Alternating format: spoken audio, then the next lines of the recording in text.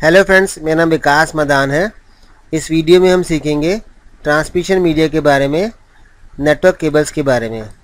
Transmission media मतलब ऐसा media जिसके थ्रू कंप्यूटर्स नेटवर्क में डाटा भेजते हैं। इस वीडियो को देखने के बाद आप नेटवर्क में यूज़ होने वाली सभी केबल्स के बारे में जान पाएँगे स्टार्टिंग से लेके अब तक। तो ट्रांसमिशन मीडिया में अगर हम देखें तो दो टाइप के मीडियम्स होते हैं। एक होता है कॉपर मीडियम और एक होता है fibre optic cable copper medium के अंदर आगे दो केबल्स आती हैं कोएक्शियल केबल और twisted pair cable fibre optic के अंदर सिंगल मोड और मल्टी मोड अगर हम कॉपर केबल की बात करें तो इसका एक टाइप है कोएक्शियल केबल कोएक्शियल केबल में फिर दो टाइप्स आती हैं थिन नेट केबल और थिक नेट केबल और ट्विस्टेड पेयर में दो टाइप्स आती हैं शील्डेड ट्विस्टेड पेयर और unshielded twisted pair shielded twisted pair को हम एसटीपी केबल के नाम से जानते हैं और अनशील्डेड ट्विस्टेड पेयर को हम यूटीपी केबल के नाम से जानते हैं। आइए, अब हम थिननेट केबल के बारे में डिटेल में समझेंगे। Thinnet cable thinnet cable network में यूज़ होने वाली पहली केबल थी। 95 और 96 के आसपास ये केबल यूज़ हुआ करती थी।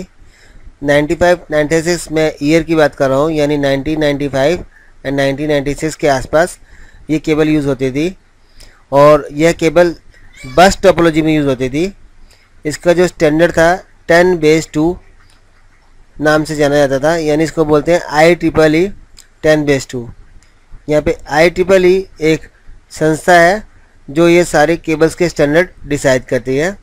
जिसमें टेन का मतलब डाटा ट्रांसमिशन रेट से है टेन एम और टू का मतलब मैक्सिमम सेगमेंट लेंथ है। इसका एग्जैक्ट 185 मीटर होता है डिस्टेंस जब भी हम कोई केबल परचेज़ करते हैं तो इसमें हम दो चीज़ मेन होती हैं।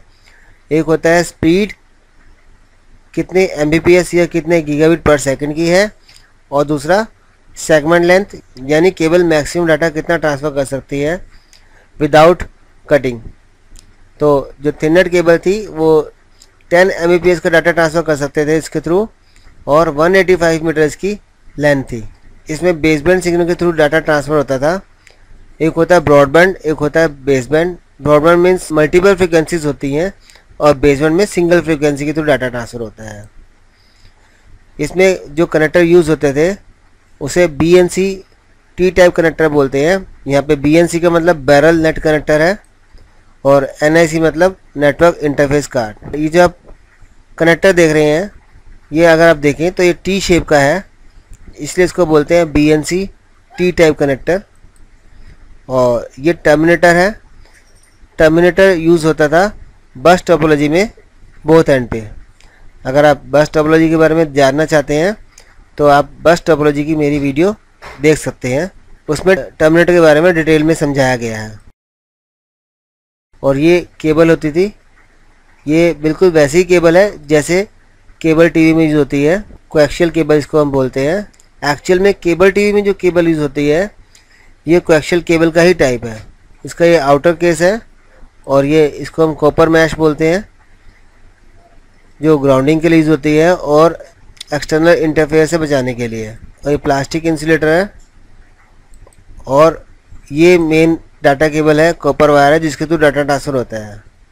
जो आप प्लास्टिक इंसुलेटर देख रहे हैं, इसका यूज़ होता है कि कॉपर मैश और कॉपर वायर दोनों आपस में कनेक्ट ना हो।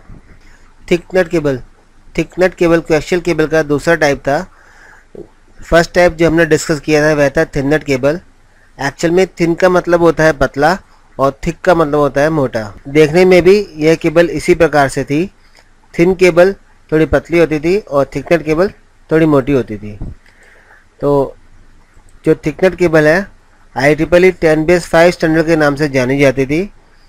इसके अंदर टेन का मतलब टेन एम है, जो कि डाटा ट्रांसमिशन रेट है टेन एम यानी टेन मेगाबिट पर सेकेंड और बेस का मतलब बेस बैंड सिग्नल जैसे मैंने बताया था, दो टाइप की सिग्नलिंग होती है, एक होती है बेस बैंड एक होती है ब्रॉडबैंड तो बेस बैंड मतलब सिंगल फ्रिक्वेंसी के थ्रू डाटा जाएगा और ब्रॉडबैंड होता है मल्टीपल फ्रिक्वेंसीज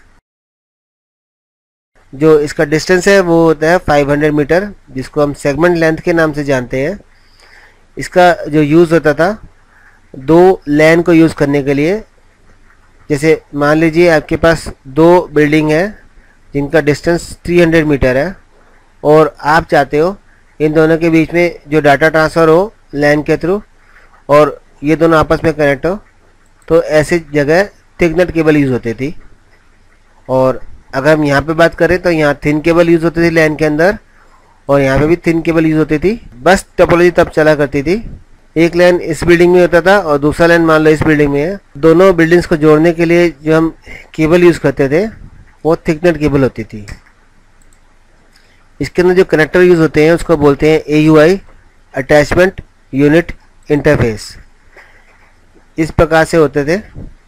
अभी थिननेट केबल और थिकनेट केबल दोनों ही मार्केट में यूज़ नहीं हो रही हैं, क्योंकि इनकी जो स्पीड थी वह बहुत कम थी 10 एम और कंपैरेटिवली जो केबल यूज़ हो रही है वो है यूटीपी केबल, जिसके अंदर 1000 एम तक का डाटा ट्रांसफ़र हो सकता है। नेक्स्ट वीडियो में हम डिस्कस करेंगे यू केबल के बारे में। थैंक यू अगर यह वीडियो आपको अच्छा लगा हो तो प्लीज़ लाइक करें और सब्सक्राइब करके मेरे और भी वीडियो की इन्फॉर्मेशन आप अपने ईमेल आईडी में रिसीव कर सकते हैं। Thank you.